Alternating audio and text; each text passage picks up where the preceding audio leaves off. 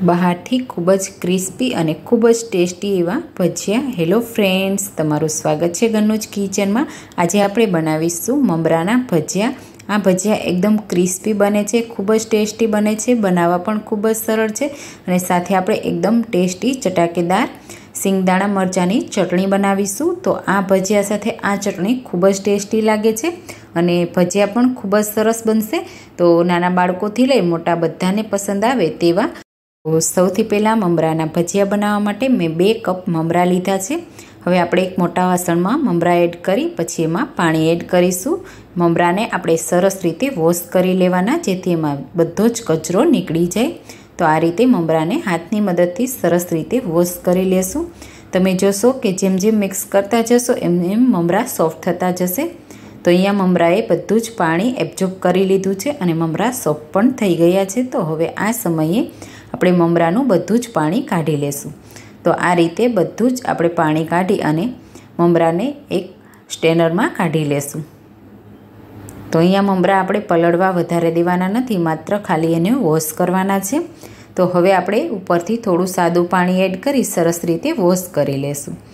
તો હવે મમરા વોશ થઈ ગયા પછી મમરામાં જે પાણી વધ્યું હોય એને આપણે હાથની મદદથી સરસ રીતે પ્રેસ કરી અને કાઢી લેવાનું.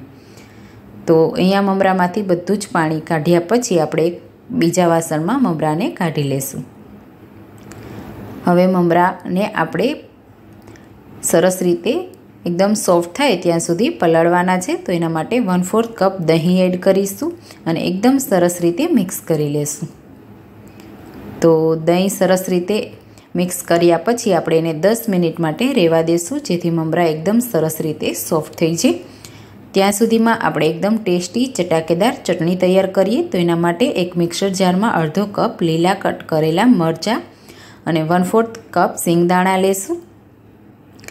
હવે આપણે એમાં વન ફોર્થ ટીસ્પૂન હળદર પાવડર, સ્વાદ પ્રમાણે મીઠું એડ કરીશું. અને આ ચટણીમાં લીંબુના ફૂલનો યુઝ થતો હોય છે, પણ અહીંયા આપણે લીંબુનો યુઝ કરીશું તો બે ટેબલ સ્પૂન લીંબુનો રસ એડ કરી દઈશું અને આ ચટણીને પાણી એડ કર્યા વગર જ પીસવામાં આવે છે. પણ અહીંયા આપણે એક ટેબલ સ્પૂન દહીં એડ કરીશું. અને દહીં એડ કર્યા પછી આ ચટણીને એકદમ સ્મૂથ આપણે પીસી લેશું. તો તમે જુઓ, અહીંયા આપણી ચટણી તૈયાર થઈ ગઈ છે. આ ચટણીને તમે એક વીક સુધી ફ્રીજમાં સ્ટોર કરી શકો છો.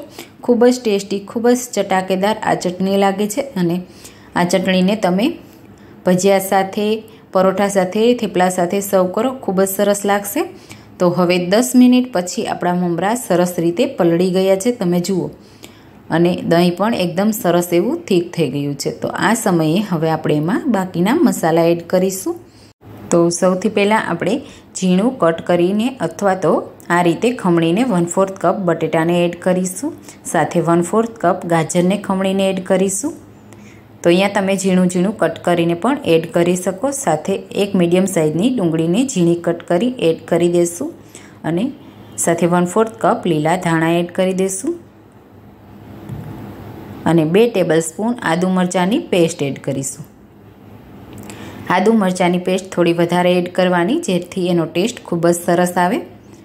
હવે આપણે એમાં એક ટીસ્પૂન શેકેલા જીરાનો પાવડર એક ટીસ્પૂન ચાટ મસાલો પાવડર અડધી ટીસ્પૂન લાલ મરચું પાવડર વન ફોર ટીસ્પૂન હળદર પાવડર એડ કરીશું. સાથે આપણે એમાં સ્વાદ પ્રમાણે મીઠું એડ કરીશું. બધા મસાલાને એકદમ સરસ રીતે મિક્સ કરી લેશું. તો અહીંયા એકદમ સરસ રીતે બધા મસાલા મિક્સ કર્યા પછી આપણે એમાં લોટ એડ કરીશું. તો એકદમ સરસ એવા ક્રિસ્પી અને બાઇન્ડિંગ આવે એના માટે અડધો કપ ચણાનો લોટ એડ કરીશું.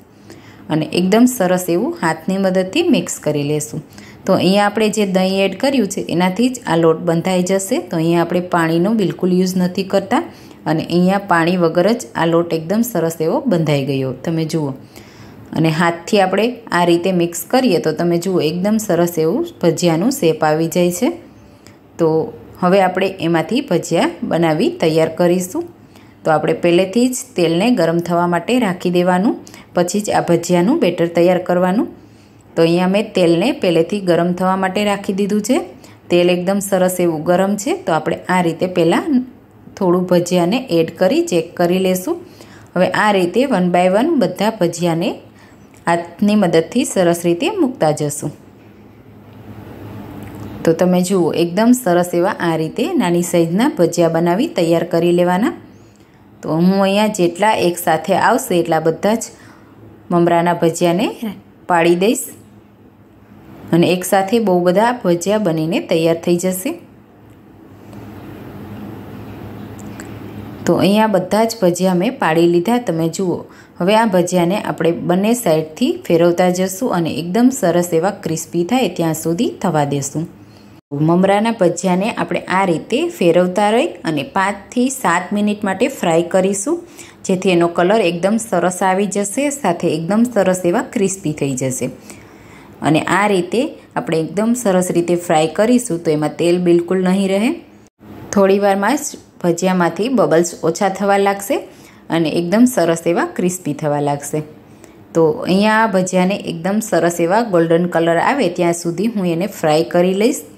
તો આ ભજીયાને ફ્રાય કરતાં મને સાત મિનિટ લાગી છે અને તમે જુઓ, એકદમ સરસ એવા ગોલ્ડન કલર થઈ ગયો છે, સાથે એકદમ સરસ એવા ક્રિસ્પી થઈ ગયા છે. અને બબલ્સ પણ એકદમ સરસ ઓછા થઈ ગયા છે, તો આ સમયે આપણે આ ભજીયાને એક પ્લેટમાં કાઢી લેશું અને આ જ રીતે આપણે બાકીના ભજીયાને પણ બનાવી અને ફ્રાય કરી લેશું. તો એકદમ પરફેક્ટ આપણા ક્રિસ્પી કુરકુરા, મમરાના ભજીયા તૈયાર છે. તો આ ભજીયાને તમે ગરમા ગરમ સર્વ કરો. ચા સાથે પણ આ ભજીયા ખૂબ જ સરસ લાગે છે અને ચટણી સાથે તો ખૂબ જ ટેસ્ટી લાગે છે. તો એકદમ પરફેક્ટ આપણા મમરાના ભજીયા બનીને તૈયાર થઈ ગયા છે. તમે આ ભજીયાને જ્યારે પણ નાની મોટી ભૂખ લાગે ત્યારે બનાવીને ખાઈ શકો છો. સાથે આપણે સર્વ કરીશું ટેસ્ટી ચટાકેદાર ચટણી. એકદમ ક્રિસ્પી, કુરકરા, મમરાના ભજીયા અને સાથે એકદમ ટેસ્ટી સ્પાઇસી ચટણીની રેસીપી તમને કેવી લાગી તે મને કમેન્ટમાં જરૂરથી જણાવજો. અને તમને મારી આ રેસીપી પસંદ આવી હોય તો રેસીપીને લાઇક કરજો, શેર કરજો અને મારી ચેનલને સબસ્ક્રાઈબ કરજો. ફરી મળીશું નવી રેસીપી સાથે. Thank you.